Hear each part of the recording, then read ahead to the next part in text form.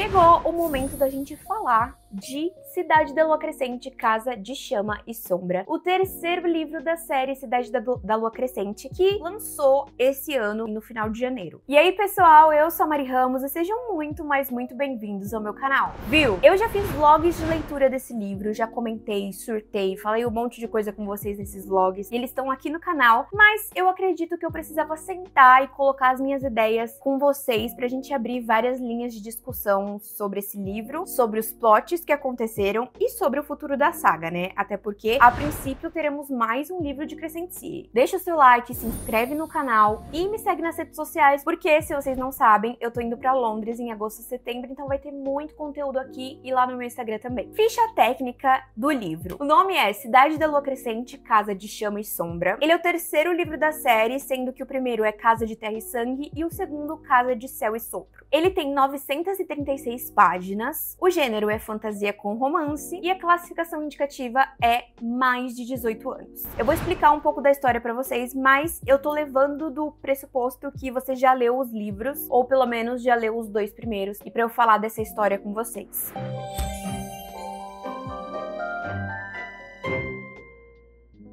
No final do segundo livro de Sarah J. Maas, Casa de Céu e Sopro, a gente vê a união dos universos. Ou seja, a confirmação de que todos os universos da Sarah J. Maas realmente estão interligados de alguma forma. E a gente vê a Bryce de Crescent City passar por um portal que ela vai acabar em Pritchan de Akotar. Onde é que eu tô? Pritchan é o nome do lugar de Akotar, para quem não sabe. E o maior medo de todo mundo em cima desse livro era, meu Deus, como que será que vai ser essa união de universos? Pode ser que dê muito certo, mas pode ser que dê muito errado. Será que a Bryce vai conseguir voltar para Midgard para poder salvar o seu povo? Será que a Sarah J. Maas vai conseguir não deixar furos na história? Será que ela vai colocar trono de vidro no meio de tudo isso também? Basicamente, nesse livro a gente vai descobrir a Bryce chegando em Pritchard, então a gente vai ver ela nesse, nesse lugar novo para ela, vai conhecer os personagens de Akotar e ela vai tentar achar a salvação para Midgard nesse lugar, né? A salvação para matar Rigelos e os Asteri num todo, né, para poder livrar Midgard do comando dos Asteri. Do outro lado, a gente vê todos os personagens de Crescent City, alguns deles presos pelos Asteres, outros tentando capturar eles e tentando salvá-los, e toda aquela correria para finalmente tentar combater os Asteres de uma vez por todas. É óbvio que nesse livro a gente vai descobrir muito mais sobre a história, né, dos féricos, de onde eles vieram, a linhagem em si, e a gente vai saber muito mais de por que que os Asteri fizeram tudo isso e como que tudo rolou. É um baita de um livro explicativo, graças a Deus, cheio de porquês, cheio de respostas dos porquês, na verdade. É uma coisa que me satisfaz muito, inclusive. Vamos falar da minha opinião, porque eu tenho muitas coisas para conversar com vocês e eu quero que vocês deixem a opinião de vocês também aí nos comentários. A gente precisa começar falando da Bryce em Pritchan, porque era, assim, a primeira coisa que a gente esperava ver nesse livro. Ao mesmo tempo que eu fiquei bem feliz por ter visto os personagens de Akotar ali novamente e da Sarah J. Maas não ter envolvido tanto a história de Akotar com Crescent City, eu fiquei um pouco desapontada com a representação dos personagens de Akotar. Eu não sei se vocês sentiram isso também, mas eu acho que algumas falas e algumas atitudes do Azrael e da Nesta ali naquele momento da caverna com a Bryce, para mim não foram condizentes com a personalidade deles em acotar. Ok, personagens mudam, coisas mudam, mas para mim eu não senti a Nesta e o Azrael ali, sabe? Tipo, não senti aquilo rolando. Para mim eu senti que eram personagens base que foram pinos para ajudar a Bryce. Por exemplo, eu não acho que tipo o Azrael deixaria a Bryce vencer tão fácil. Eu não, não acharia que ele tipo toda hora ela ela escondia alguma coisa deles, eles sempre acabavam caindo ou debaixo de pedra e tipo não tinha um motivo plausível para que eles, pô, é o Azrael, mano. Óbvio que ele ia conseguir, tipo, pegar a Bryce antes de ela conseguir a coisa. Sei lá, sabe? Por exemplo, a Nesta, eu sei que ela passou por todo o processo de, dela em chamas prateadas. Mas será que quando ela conhece uma pessoa nova, ela, ela vai ser uma pessoa super tranquila? Porque, tipo, ao mesmo tempo que eu senti que, obviamente, ela não tava a melhor amiga da Bryce, eu não senti ela tão reativa quanto a Nesta que eu conheço, sabe? Eu senti falta dessa Nesta. Eu super entendo a raiva generalizada da Bryce.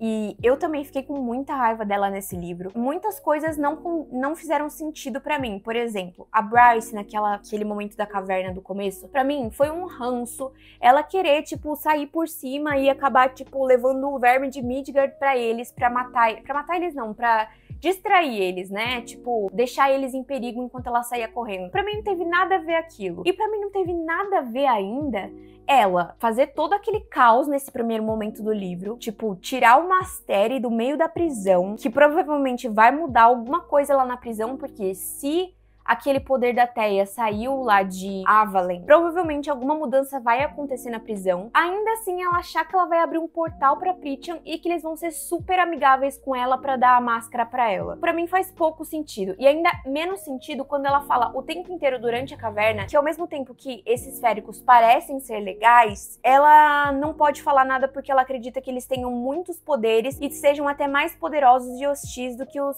féricos de Midgard. Então ela tem uma imagem dos que não condiz com depois, que é quando ela fala que aqueles féricos daquele mundo, eles pareciam ser diferentes dos féricos de Midgard. Uai, mas não foi isso que você falou lá no começo, sabe? Eu não gosto muito dessa correria da Sarah J. Maas de querer escrever um livro e já resolver a maioria das coisas nesse livro, sendo que é necessário uma construção. A gente pode até ver nessa diminuição das, das séries. Trono de Vidro é uma série muito mais complexa, que tem muito mais livro e as coisas demoram para acontecer, obviamente, porque precisa de uma construção. A Cotar já é menor que Trono de Vidro, mas ainda assim as coisas demoram um pouco mais para acontecer e a guerra é um pouco menor do que Trono de Vidro, então plausível. E Crescent Sea caminhou para ser ainda menor, porque ele já se resolveu no terceiro livro, só que ele tinha plots que precisavam de muito mais construção do que pro terceiro livro, entenderam? Não sei se eu consegui ser clara. Esse livro, ele me dá tantos sentimentos diversos que eu sou até inconsistente, na minha opinião, com a parte da, dela pegar a máscara com a Nesta, porque eu achei incrivelmente genial. Não ela pegar a máscara com a Nesta e ela abrir o portal, mas essa troca dela em pegar a máscara e deixar a Amber e o Randall lá em Pritcham durante esse processo. Porque eu acho que foi uma maneira de, dela proteger os pais e ainda assim deixar uma garantia de que ela voltaria com a máscara. E foi uma maneira de ela conseguir a máscara, né? De todo esse, esse quesito. E também uma forma de a gente ver um pouco mais dessa falta que a mãe da Nesta faz para as três irmãs, né? E uma falta de uma, a falta de uma presença materna ali. Outro ponto é que a gente sabe que a Silene é uma ancestral dos grãos senhores da corte noturna. E ela até fala no livro que ela deixou esse segredo que tem um astéria ali na prisão e ela passou esse segredo pro filho dela, que vai passar pro filho, pro filho, pro filho. Mas eu tenho algumas dúvidas sobre essa situação. Eu fico me perguntando, OK, era pro Ryzen saber disso. Será que o Ryzen sabia ou Ryzen, né? A gente falou errado o nome dele. Esses dias eu encontrei umas meninas, inclusive acho que vocês devem conhecer. A Fal, a Gil e a Ma Pans. E eu encontrei elas no Vassoura Quebrada e tudo mais. E eu, eu falei Rising pra elas. E eu vi a cara delas, tipo. What? Espero que vocês ainda gostem de mim por isso. Enfim, eu fico me perguntando se o Rising sabe disso. E se ele sabe, por que, que ele escondeu? Ou se ele escondeu mesmo? Ou o que, que ele tava planejando? E se ele não sabe, será que a gente não deve começar a cogitar, tipo, a importância do Azrael em toda essa história? Porque é ele que tem a reveladora da verdade. A reveladora da verdade meio que escolheu ele. Então, será que ele, na verdade, não tem o sangue dos descendentes da Silene? Não sei, podemos questionar isso. Nem preciso falar da pérola que o Duolingo, né? Não preciso nem falar nada. Que maneira fácil de resolver um negócio. E eu fico pensando assim, para mim, eu tenho muito a teoria de que esse livro era para ser totalmente diferente. Eu tenho a teoria de que quando a Sarah J. Maas terminou Casa de Céu e Sopro, ela imaginou que Casa de Chama e Sombra fosse um livro que tivesse um período maior em Pritchard e só no final, eu acredito que fosse assim, o livro inteiro até aquela parte de Avalen, mais ou menos, para acabar ali, sabe? E aí então o próximo livro ser o restante de tudo, pra gente ver uma grande guerra acontecendo e tudo mais. Então eu tenho a impressão de que ela tinha esse primeiro plano de ser dois livros e, e os dois livros estão aqui. E aí ela simplesmente enxugou essa ideia e colocou tudo aqui. Porque essa pérola é a é a, o jeito mais fácil de, de, você resolver um problema de linguagem. E foi uma coisa bizarra para mim, porque eu nunca esperava isso da Sarah J. Maas. Pra mim, ia ter todo um momento em que a Bryce ia chegar lá, ela ia começar a aprender a língua, ela ia conhecer o lugar onde ela tava, ela ia conhecer um pouco de Prithian, do local ali, né? Tipo, um pouco da, da geologia, dos, dos ambientes, dos, dos, dos seres que lá habitam. E aí, ela ia aprender a língua deles, ia voltar pra Midgard de alguma forma que ela ia descobrir nesses estudos dela, não de uma forma ridícula, igual aconteceu no livro, que eu já vou chegar nessa parte. E aí sim, ela ia trazer todo esse conhecimento de agora uma rainha que sabe sobre pelo menos o básico sobre distribuição de guerra, distribuição de distritos, como liderar um povo, né? E aí ela volta para Midgard para começar mesmo essa revolução. Não faz mil vezes mais sentido a coisa, mas ela resolveu enxugar tudo e colocar tudo no livro. Barbaridade. Que desgraceira. O que é absurdamente ridículo para mim ela conseguir voltar para casa dela a hora que ela quiser e ainda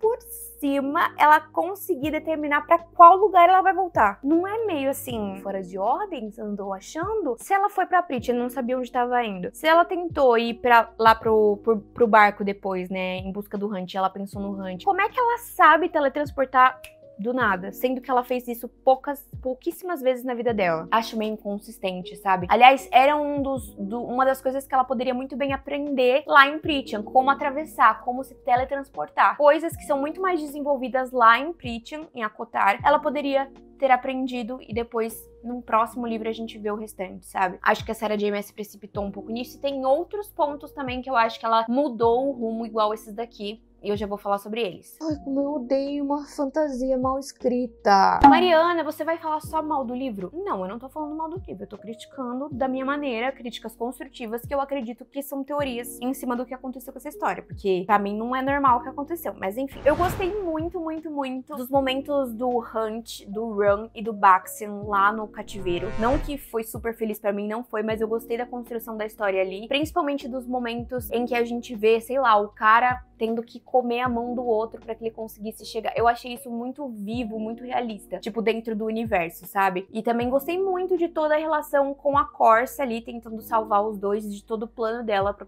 conseguir salvar, principalmente o Room de toda aquela daquele calabouço. O Tarion e o Ethan são os que mais me irritam a série inteira. O Tarion, no entanto, tá mas o Ethan, gente, foi extremamente difícil. Foi dificílimo de ler os povos do Ethan nesse livro. Eu acho ele um cara tão chato e dramático, como se o negócio dele fosse o que mais conta lá no universo. Espero que eu não acabe com mais nenhuma coisa, que eu não destrua mais nenhuma coisa. Todo mundo já esqueceu da Sigurd, ele ainda tá lembrando da Sigurd como se ele fosse o maior culpado de tudo aquilo. Ele não entende que ele foi consequência da situação e que a culpa não foi extremamente dele. Ele fica se martirizando e é um martírio chato, de chorão. Ai, não aguento. Chato de. Embora eu tenha gostado muito da trajetória dele até chegar como primo. Eu sabia que ele ia ser primo em tudo isso. E eu sabia que isso. Eu sabia não. Eu esperava que isso acontecesse. Gostei muito da batalha com a Sabine. O primo morrendo também achei bem legal, embora meio. Ah. Só que para mim, a Sigrid foi outro personagem que a Sarah James mudou a rota de última hora. Não faz sentido ela salvar, ele salvar uma loba do tanque lá no segundo livro, a personagem aparecer no segundo livro, pra no terceiro ela morrer. Morrer não, né? Virar ceifadora, mas assim, ainda mais com todas as situações que aconteceram no segundo livro, tudo caminhando para Sigrid ser parceira do Ethan, não sei, sabe? Para mim foi muito estranho. Para mim foi uma mudança de rota que assim, péssima, para ela virar e aí é um, ai, outro negócio que eu já vou falar de ressuscitar. Já venho falar de ressuscitar, porque ressuscitar é um porre. Não aguento mais essa mulher ressuscitando. Vamos parar de palhaçada. O Tarion também, eu gosto dele, mas eu queria que as coisas tivessem terminado diferente ali, porque eu achei que a união dele com a Satya, que para mim aquilo foi genial, eu queria que aquilo tivesse um desenvolvimento maior. Nunca imaginei que ela fosse atrás do antigo namorado dela, e acho que até isso não sei se condiz muito com a situação. Eu queria ver um pouco mais deles ali entrosados, sabe? Deles funcionando, por exemplo. O Tarion, a gente sabe que ele não tem muito traquejo social, e a Satya tem exatamente o que ele precisa. E, óbvio, o Tarion vai mostrar para ela também uma amizade que talvez ela nunca tenha conhecido, uma união, né, uma ajuda que talvez ela nunca tenha conhecido. Então eu queria ver um pouco mais deles ali, mas de resto também não vejo muito, não é muita importância, também não foi tão um, um plot tão absurdo assim pra série, sabe? E agora a gente chega no momento. Eu não consigo entender o porquê essa mulher fica ressuscitando o personagem. Vocês têm noção que ela, que ela ressuscitou seis personagens nesse livro, ela foi aumentando gradativamente com as séries. Ressuscita um aqui, aqui ressuscita dois, aqui ressuscita mais um. Gente, eu odeio o plot de ressuscitar. Eu ainda me empolgo com esses livros, gente. Que ódio que eu tenho. É que essa Sarah ela escreve muito bem. Ela escrevendo muito bem, dá para passar pano quando você tá lendo. Mas quando você vai refletir e vai escrever alguma coisa e vai tentar secar a coisa, aí fica complicado.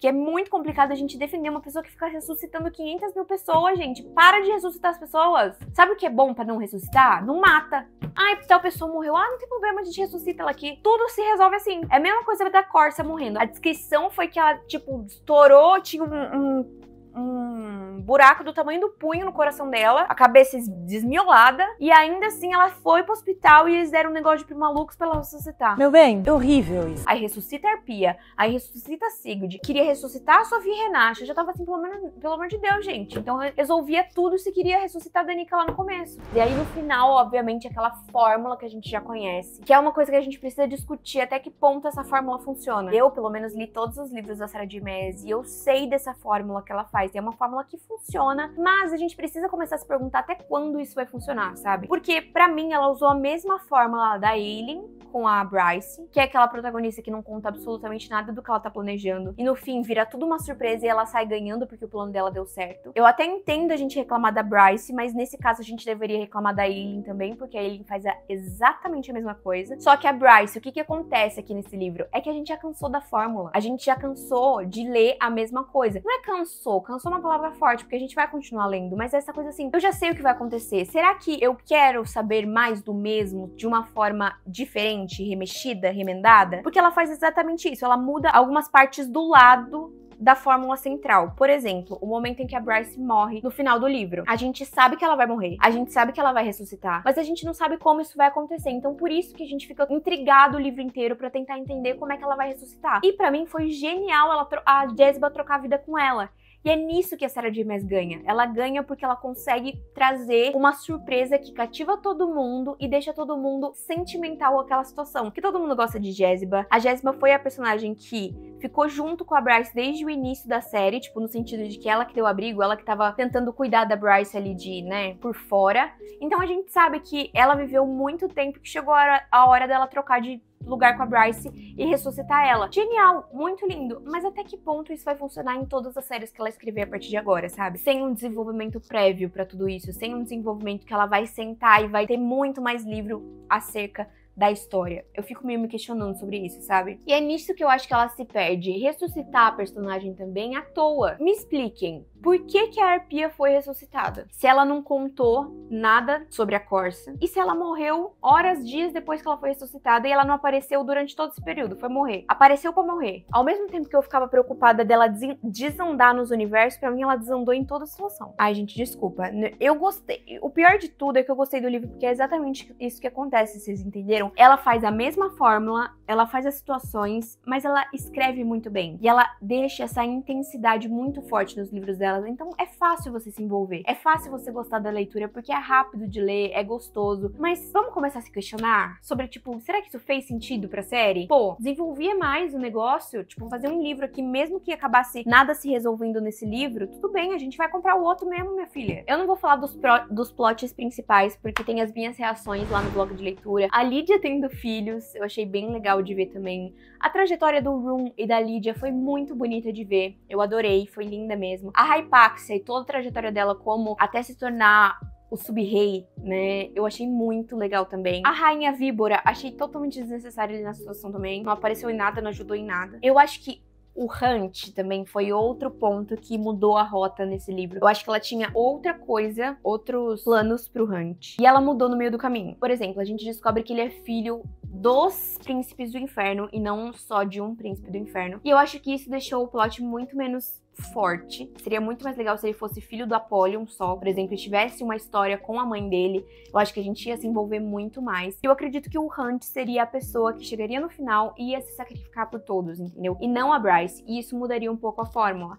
Mas a gente precisaria de mais desenvolvimento para ver isso, entendeu? Eu achei o final, aquele momento em que os caídos vão para os Mectrages, eu achei isso muito legal. Mas ao mesmo tempo eu achei um pouco confuso, porque parece que realmente tudo foi muito descrito assim pá, pá, pá, pá, pá, pá, e eu fiquei um pouco confusa na situação. E eu achei uma grande lambança e, tipo, uns porquês um pouco fracos do tipo, por exemplo, o Tarion foi lá com vários antídotos e só sobrou dois sei lá, sabe?